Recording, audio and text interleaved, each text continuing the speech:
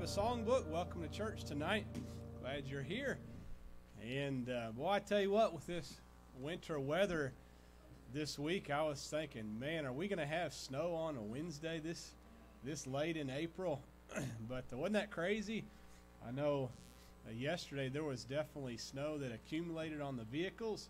Had to actually get out and brush it off to be able to drive, but Anyway, glad for a nice evening tonight. Nice chilly evening out there, but it's good to be in church. Let's take our psalm book, turn to page 146. 146. We'll sing a shelter in the time of storm. Let's all stand, sing it out on this song.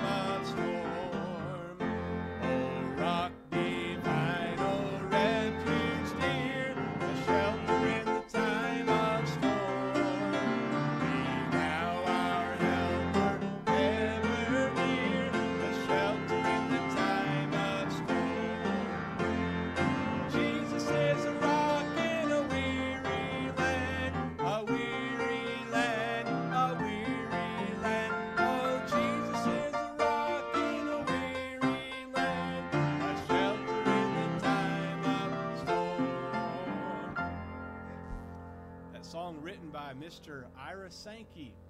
And uh, he was a tremendous uh, musician, song leader, uh, even songwriter for uh, D.L. Moody, I believe it was. And back in the circuit riding days, in the days of D.L. Moody would go and preach in cities, and they would just come by the hundreds and thousands even to hear him preach. And what a great man of God he was. And of course, Mr. Sankey, his songs that he wrote and led in, in, those services were just amazing. And so, good song tonight. And to thank you for being here. Let's pray. We'll ask the Lord to uh, bless church tonight. All right, Father, we love you. Thank you for this evening. we thank you for uh, the songs that we can sing. And Lord, they're so true as we sing the words uh, to songs such as this one. And Lord, we can come to you in our time of storm. And when we do that here on a Wednesday night, we come to you for help. And we uh, just pray that you would meet with us Lord, I pray we'd have a good evening in church, a good Bible study. Lord, in our prayer time as well as the Patch Club. Lord, bless all that we say and do tonight, and we'll be careful to praise you for it. In Jesus' name, amen. You can be seated. All right, we'll see if anyone needs a prayer card real quick. We need a one to fill out. All right, very good. Be filling those out. We'll collect them after a while. Right now, we're going to go ahead and let the young people be dismissed. So you all can go ahead and head on out to Patch Club. Did you get those papers? All right, very good. All right. Good, good, good. Thank you, young people, for being here tonight. sure do appreciate that.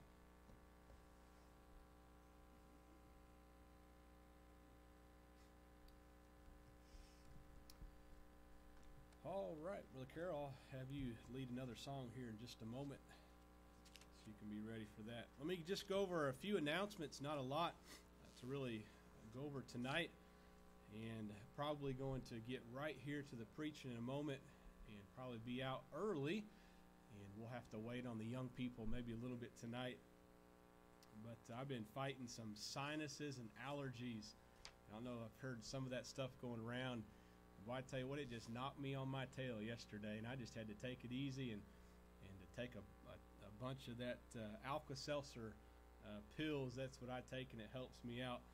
And so, uh, but anyway, let me go go over these announcements. Want to just encourage you to be here uh, this Sunday. We look forward to church, and we will have our Bible reading checkup. Hope that you're caught up on your Bible, and I've been enjoying my Bible reading this week, and uh, and all that's taken place the children of Israel as I'm studying and reading through that. But we'll check up on that this this Sunday, and uh, it'll be a great thing. Then uh, we'll have Sunday night uh, church workers meeting, and I might have kind of announced this in in, in a in a wrong way. And uh, my wife was telling me, said sometimes I don't communicate the, the best way sometimes, and sometimes I guess men we think we're saying something and it comes out a different way. I don't know, but this meeting is for for everyone, everyone in the church, not just for uh, people that are already working, but this meeting is for everybody. And I'm going to encourage uh, just everybody that can to come to this meeting. And I'm just going to kind of share my heart with the church and uh, kind of a burden to get more folks involved with different areas of service. And I really think that if we love our church, we'll want to put effort and work into it. And so, looking forward to the meeting Sunday night. And so, it's not just a meeting for people that are are currently doing something. Um, it's it's kind of a church wide meeting. It's a come on and and listen and catch the burden. And there'll probably be something that you might want to jump in and get involved with. excuse me, the missions moment with missionary Sloan on May the 2nd. We'll look forward to that. Of course, Mother's Day on May the 9th. Look forward to that, as well as we'll have several baptisms that day. And then on May the 16th, uh, Sunday Night Delight, we'll have the Providence Baptist College uh, singing group with us on that night. And we'll enjoy some special music and then a time of fellowship after the church service on May the 16th. And so, a few things, of course, uh, uh, Brother Carroll, you can go ahead and come on up and get ready for that song. Of course, there's uh, gospel tracts there in the back, and I challenge you to take uh, take those. And uh, you know, some of the children have uh, taken those, and I'm encouraging my boys to make sure they pass them out. So parents, you can kind of help. Uh, you know, notice if your kids are taking tracts or whatever. kind of keep an eye on that. We don't want to be wasteful, but I do want to challenge them to, to do the same thing pass out tracts. So uh, those are back there for that. All right, let's sing one more song, then we'll get right to the preaching tonight. All right, take that hymn and turn to number 355. What a friend we have in Jesus. Number 355.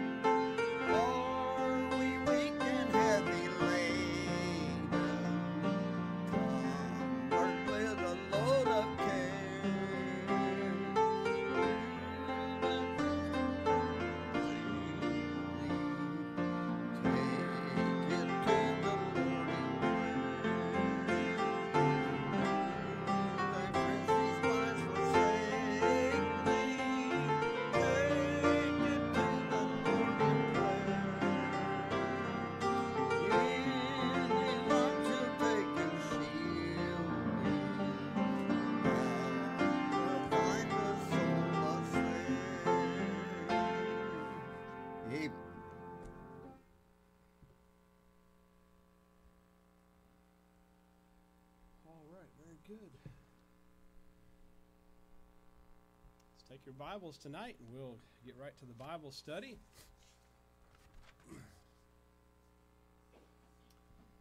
First Timothy chapter 6. If you will make your way over there, First Timothy chapter 6.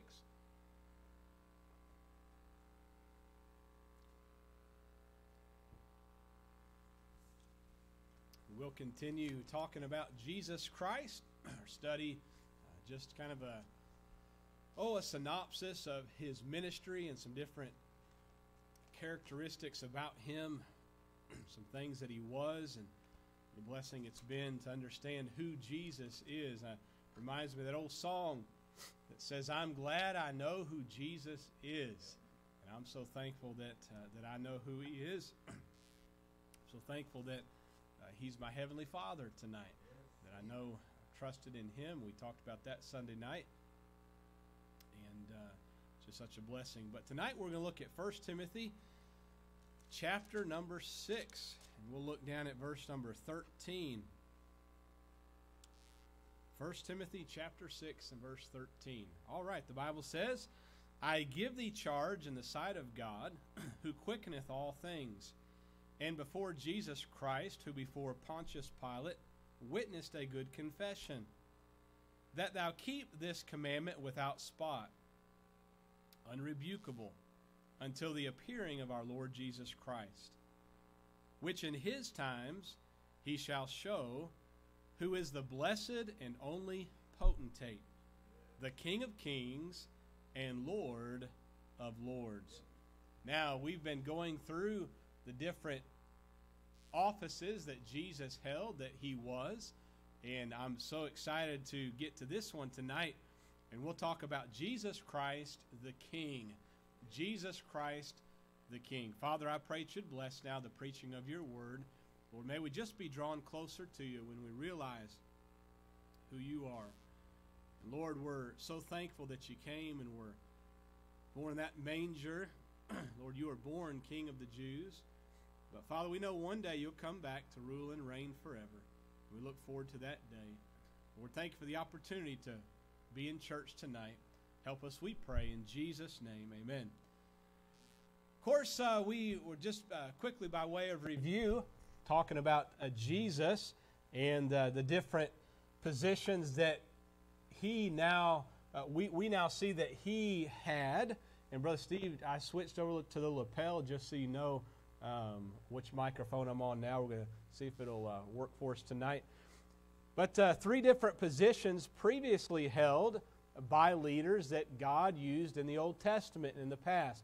And we'll just remind quickly here that uh, the leaders that God would use in the Old Testament to help his people uh, were number one, the prophets.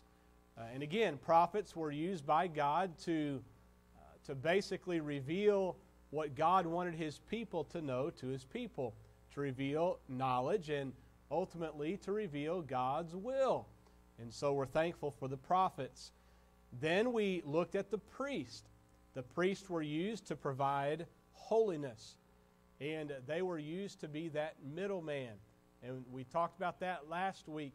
I'm so thankful that, uh, that we no longer have to use a priest anymore. We no longer need a middleman.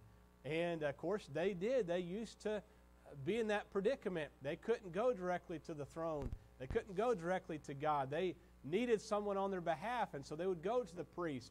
And there's religions today that are still hung up on that uh, theology, if you will. But I'm thankful that Jesus became our high priest.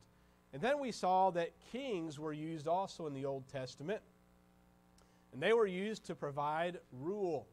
They were used to help uh, to provide that leadership, that government, and the rule. Of course, uh, we understand that there came a time when the people wanted what they wanted. And, and so God said, okay, I'll let you have it your way. And they, they said, we want a king. And so we're going to look at the correlation of how Jesus Christ is also the King. We understand when they put him on the cross, they put that sign above his head King of the Jews. And uh, of course, uh, we'll, we'll get into some of this tonight, but, but let's first of all start off by talking about some of the prophecy that would prophesy Jesus as king. Now, turn with me, if you would, to the book of Isaiah, chapter number 9. Isaiah chapter number 9. Of course, the book of Isaiah, a, a book full of prophecy and much about the Lord Jesus Christ. But look at Isaiah chapter 9. One of the most familiar Christmas verses concerning the coming Messiah was this prophecy of, of him becoming the king. I think I'll just switch back over, Brother Steve. It's, I thought we'd try it tonight, but a lot of a lot of feedback up here. Isaiah chapter 9, verse number 6. Notice what the Bible says. For unto us a child is born, and unto us a son is given, and the government shall be upon his shoulder. That's prophecy there, and we'll get to that in a moment. And his name shall be called Wonderful, Counselor, the Mighty God, the Everlasting Father, the Prince of Peace. Of the increase of his, here it is again, government and peace there shall be no end upon the throne of David and upon his kingdom to order it and to establish it with judgment and with justice from henceforth even forever. The zeal of the Lord of hosts will perform this. So, uh, this, of course, p- part of prophecy is, is telling that Jesus would come and be born in Jerusalem, uh, or, or be born in Bethlehem, rather, in that manger. And uh, he would be born as he would be the Messiah, he would be the king. But, but part of this here, it says that he'll be in charge of the government. This is prophecy. This will come to pass one day. And uh, it talks about uh, that the government shall be upon his shoulder. It talks there about the increase of his government and the peace. Uh, it's just going to be a wonderful time when he comes back to rule and reign. It says in verse number 7 that he will sit upon what? The throne. The throne of David what is this referencing? One day he's going to set up kingdom, folks. I mean, this isn't just a fairy tale. We, we love to read uh, stories. Our kids like story time, especially the younger ones. Sometimes they're fairy tales, and boy, you can just, you know, uh, uh, my my middle son Dylan, he's real good at just making up stories. We'll say, "Hey, come tell us a story," and he'll just take off. I mean, just telling a tale. And boy, it's fun to listen to him as he just makes this thing up as he goes. But you know what? This isn't a fairy tale. Jesus Christ is coming back. And one day he will sit on the throne of David. The Bible says there will be no end. What is this talking about there? There will be no end upon the throne of David. It's going to be eternal. He'll reign forever and ever. Now, just before Jesus was born, turn with me to Luke chapter 1. Just before Jesus was born, the angel came and told Mary a basically the same threefold prophecy that we just read. Uh, Luke chapter 1 and verse 30. Uh, let's back up to verse number 26. In the sixth month, the angel Gabriel was sent from God into a city of Galilee named Nazareth to a virgin espoused to a man whose name was Joseph of the house of David, and the virgin's name was Mary. Now, look at verse 30. And behold, thou shalt conceive in thy womb, bring forth a son, and shalt call his name Jesus. He shall be great, and shall be called the Son of the Highest. And the Lord God shall give unto him, notice what the angel says now, the throne of his father David. We find the same prophecy given in Isaiah chapter 9 here in Luke chapter 1. The angel repeating the same prophecy that uh, God had given to Isaiah years and years earlier. Notice verse 31. Um, I'm sorry, uh, verse 32. Uh, he shall be great and shall be called the Son of the Highest. The Lord God shall give unto him the throne of David, uh, the throne of his father David, and he shall reign over the house of Jacob. Here it is now, forever. And of his kingdom there shall be no end. Doesn't that sound just so familiar? almost verbatim Isaiah chapter 9, the prophecy. Jesus, uh, the angel said he'll reign and rule. He said he'll sit on the throne of David, and there will be no end, and your rule will last forever. So we, we find here Jesus prophesied as king. Now let's notice where this prophecy actually now is fulfilled. Let's back up to Matthew chapter 2.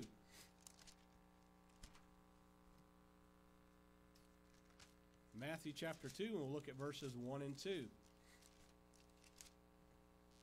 Now, when Jesus was born in Bethlehem of Judea in the days of Herod the king, behold, there came wise men from the east to Jerusalem, saying, Notice what the wise men said Where is he that is born, King of the Jews? For we have seen his star in the east and are come to worship him. you see, the wise men, they knew the king was born. And uh, you know, they'd been looking for the Messiah, be looking for the king. And they said, now, this wasn't during the, the early uh, years of, of Jesus' birth, uh, but rather when he was already, um, you know, we're, we're, not exactly sure how old he was, but I believe uh, at least a year or two had probably passed from the birth of Christ, and Jesus was still a baby, uh, perhaps uh, getting to that toddler age. Uh, the wise men came there to try to find the king of the Jews. Now, the prophecy that the, uh, let's turn to Micah back in the Old Testament, that the chief priests and scribes found.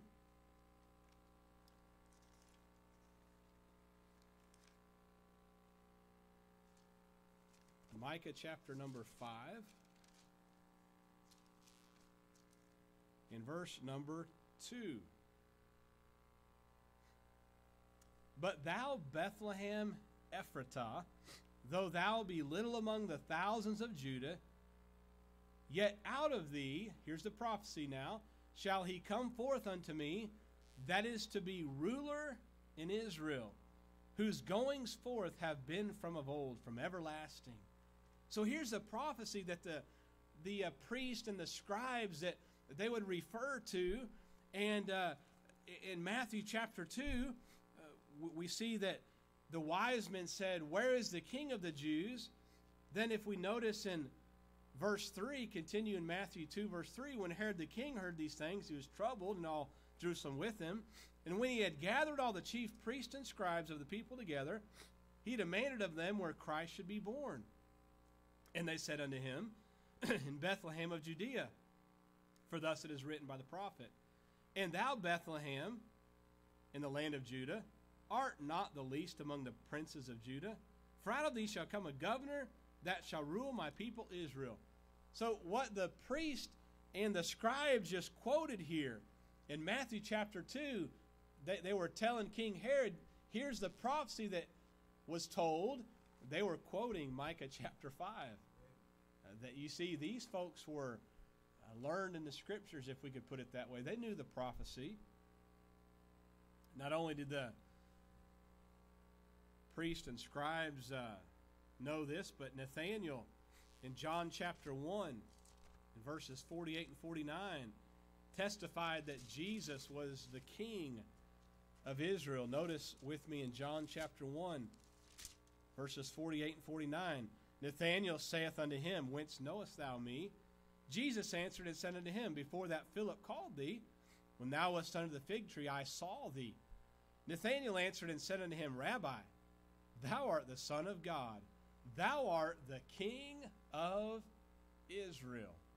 So we see again Jesus as King. Of course, we know the, the very, uh, you know, infamous Palm Sunday and what took place in that triumphal entry there, found in Luke chapter number 19.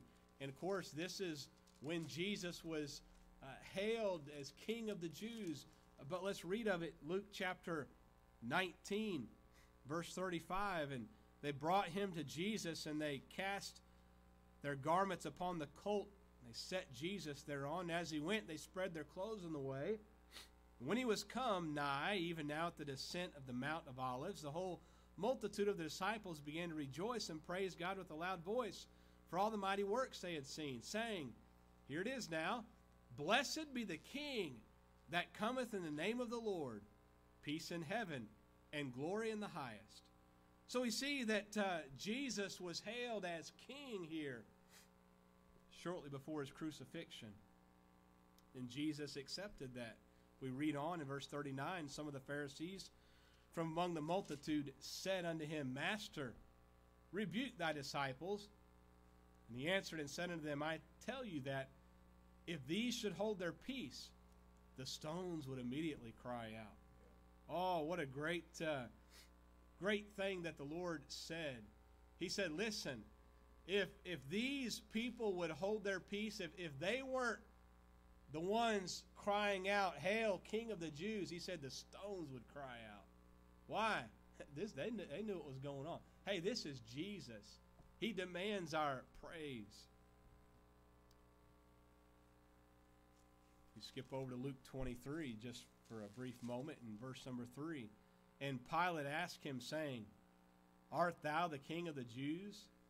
And he answered him and said, Thou sayest it. He said, You got it right. That's exactly who I am.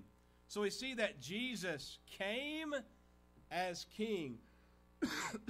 he was born king of the Jews. He accepted that uh, title upon his life as he lived and as he ministered during those several years in his earthly ministry. Yet one day he will come back as King of Kings and Lord of Lords. But even though he was king and even though he was he proclaimed he was king himself and others proclaimed him king, many still rejected that. Look at Luke chapter 19 and verse number 11 we find a parable here that Jesus gave.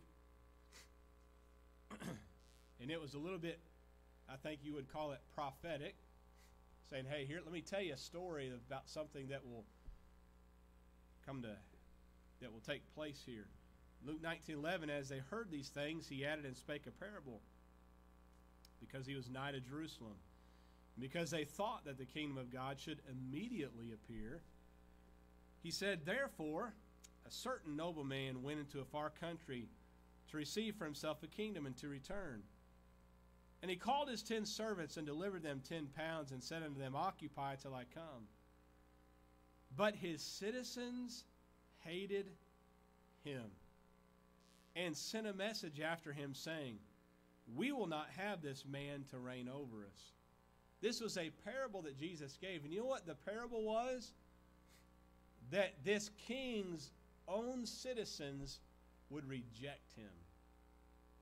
It was a prophecy that there was going to be folks that would reject Jesus Christ as king. And of course they did. The prophecy came when Jesus was crucified. Let's notice John's account of the crucifixion. John chapter 19. John chapter 19, let's look at verse number 1. Then Pilate therefore took Jesus and scourged him. And the soldiers platted a crown of thorns and put it on his head. And they put on him a purple robe and said, Hail, King of the Jews!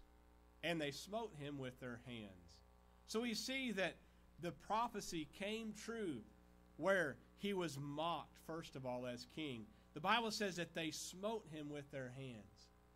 You know, what a what a just very disrespectful and uh, you know can you think about you know just when someone would take their their hand and slap you i mean that is just uh, one of the one of the lowest types of disrespect you can give someone and they mocked him they smote him the bible says and then not only that but in verses 12 through 19 uh, you know the Bible says that they rejected him as king. Let's read it. And from thence Pilate sought to release him, but the Jews cried out, saying, If thou let this man go, thou art not Caesar's friend. Whosoever maketh himself a king speaketh against Caesar. When Pilate therefore heard that saying, he brought Jesus forth and sat down the judgment seat in a place that is called the pavement, but in the Hebrew, Gabbatha. And it was the preparation of the Passover, and about the sixth hour, and he saith unto the Jews, Behold your king. But they cried out, Away with him! Away with him! Crucify him! Pilate saith unto them, Shall I crucify your king? The chief priest answered, We have no king but Caesar. Then delivered he him therefore unto them to be crucified, and they took Jesus and led him away. So we find here that when even Pilate said, Here's your king, what do you want me to do with him? Do you want me to crucify him? They said, No, he's not our king. We have but one king, and that's Caesar. The prophecy came true here that Jesus was not only mocked, but that Jesus was rejected as well. But one day, and here's what it all boils down to talking about Jesus as a king, one day he will return as a king. Let's go to the book of Revelation in chapter number 17.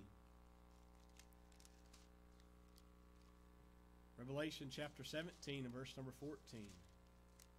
Well, I love the song. And matter of fact, uh, not so long ago, uh, heard a message that, that so moved me and helped me that I wanted the church to see it. And we heard Brother Justin Cooper preach on The King is Coming. Oh, what a great message that was. And to hear that old song saying, uh, The King is coming. I can hear the trumpet sounding. Hey, listen, the King is coming. Revelation 17 and verse 14. These shall make war with the Lamb. The Lamb shall overcome them. This is, of course, Jesus Christ, the Lamb. For he is Lord of lords and King of kings, and they that are with him are called and chosen and faithful. So, Jesus, the Lamb here, the Bible says in Revelation, will come again as King. Uh, John chapter 1 gives Jesus the title or the name, the Lamb of God. You know, and I think that it's so uh, interesting to know that as Jesus is coming again, this time he's not coming as a lamb. A lamb represents someone that is uh, that is uh, uh you know that sacrificial lamb. Uh, it, it, represents someone that is that is not uh, coming in strength or power. And Jesus isn't coming back this time as a lamb. The first time he came as a lamb, but this time he's coming. The Bible says as a lion. Revelation chapter 19, verse number 11. And I saw heaven open, and behold, a white horse. And he that sat upon him was called faithful and true. And in righteousness he doth judge and make war. His eyes were as a flame of fire, and on his head were many crowns, and he had a name written that no man knew but he himself. And he was clothed with a vesture dipped in blood, and his name is called the Word of God. And the armies which were in heaven followed him upon white horses clothed in, white, in fine linen, white and clean. And out of his mouth goeth a sharp sword, that with it he should smite the nations, and he shall rule them with a rod of iron. And he treadeth the winepress of the fierceness and wrath of Almighty God. And he hath on his vesture and on his thigh a name written, King of kings and Lord of lords. As gentle as Jesus came in the book of uh, of the Gospels, Matthew, Mark, Luke, and John, as he came into this world, and as John, the forerunner of Christ, said, Behold, the Lamb of God that taketh away the sins of the world. This time he's coming back, and we can say, as a lion. He's coming to conquer. He's coming to take control. He's coming to rule and reign forever. And by the way, uh, you and I will be with him. Yep. Hey, listen, it'd be a good thing to go ahead and take some horse riding lessons. Amen. Hey, I grew up with horses and, and rode a lot of horses in my life. Been a while since I've been on a horse, but uh, oh, back at Ava's birthday party, I think was the last time I was on a horse. But anyway, listen, we're coming back. It's going to be a great day. It's going to be a day of conquering.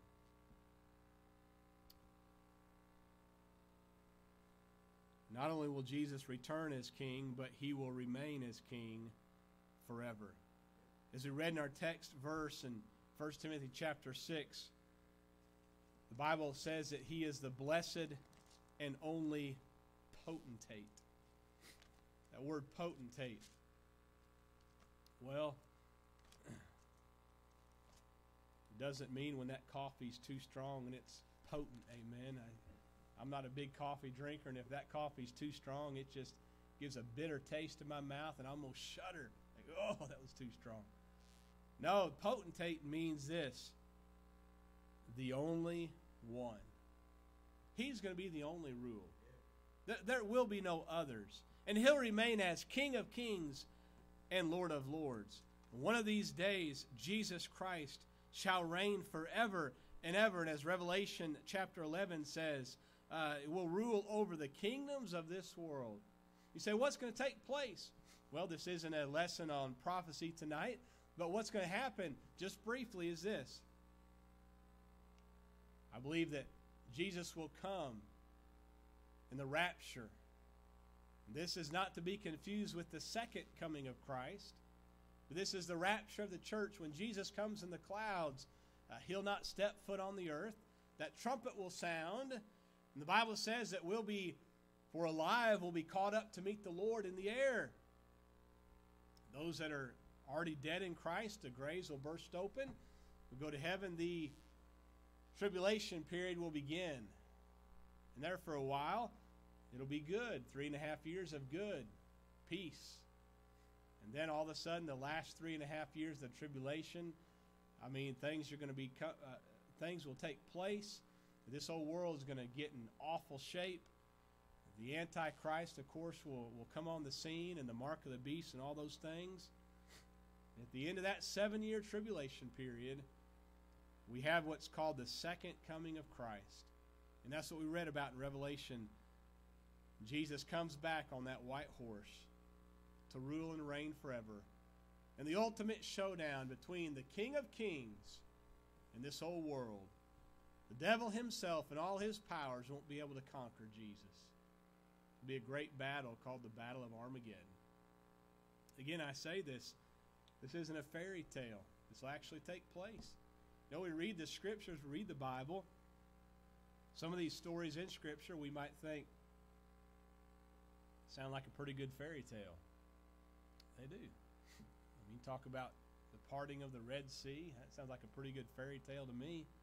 You, talk about the ark, you know, David killing Goliath, all these things. They sound like fairy tales. The three Hebrew boys thrown in the furnace. No, these actually took place. And the book of Revelation is not a fairy tale either. It's going to take place. That battle will take place. The Bible says it's going to be a great, great battle. Casualties will be just innumerable. Matter of fact, the Bible says the blood will run down through the valley there, bridle deep. Can you imagine that? Bridle deep, I'd say, reckon it's about, oh, this high, maybe a horse's bridle from all of the bloodshed. And Jesus will set up his kingdom. We'll rule and reign with him. Oh, it's going to be great. It's called the millennial reign of Christ for a thousand years. This whole world will be a different place. Story is told that when Queen Victoria was a young girl, she went to hear a musician named George Handel. The particular concert given that night was Handel's Messiah. And of course, we probably all have heard that at some point in our life. Everyone stood when the music rang out there on that great Messiah, King of kings and Lord of lords. When Victoria rose, others who were with her sought to restrain her, saying, She should not stand because she was queen. Victoria answered, I am Queen of England, but Christ is my King of kings and Lord of lords. Oh, listen. One day, the Bible says, every knee shall bow, every tongue confess He is Lord, He is King. Can I ask you tonight, if you've accepted Christ as your Savior, in reality, He should be your King just as he is the prophet and priest. In other words, do I allow Jesus Christ to sit on the throne of my heart? The Bible does clearly teach that he is to be the Lord of my life. Whatever he says goes. And no, I'm not uh, a citizen of His under that uh, mighty thumb of His rule. No, He's a good King. I gladly say, I'll serve you, whatever I can do. Does He rule? Does He sit on the throne of your heart? Uh, does He rule your thought life? Are your actions and motives governed by His Word? I challenge us tonight. Let's yield to His authority in our life. Not because we have to or, you know, whatever we should, but because we want to. And He sure is good. Let's pray tonight. Father, we thank you for this Bible study. We thank you how we can look to your word knowing that uh, all things written have come to pass or one day will come to pass. We look forward to that day when you come as King of Kings. Would help us now to allow you to have your rightful place upon the throne of our heart. We'll be careful to give you the praise and glory for everything that you do. We ask these things in Christ's name. Amen. All right, very good. Let's uh, collect our prayer cards tonight. We'll have our prayer time